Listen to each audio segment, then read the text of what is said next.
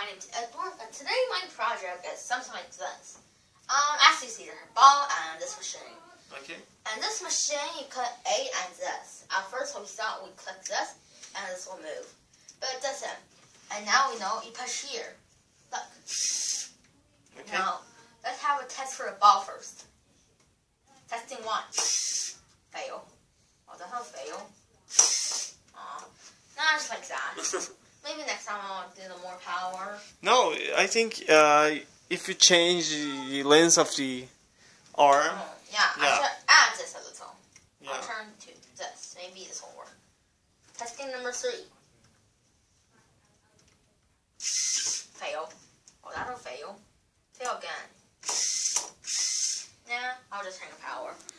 Um, so you just like here, press here, Mhm.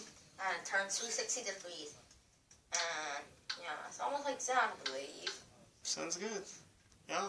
Yeah. Uh, what what which part was more difficult for you, programming Um, or mechanical part? I mean, building. um, actually, it doesn't really have any prognosis. Mhm. And today, it, I think it was your first time to work with the programming. Yes. Yeah, and it's a failure Actually, you can turn both sides. oh, I see. Was it fun? huh? Was it fun? This project? Huh?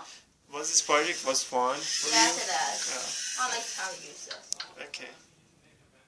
Uh, Yeah, s- I like that. awesome. Good. Good job. See you next week. Okay. Bye. Bye.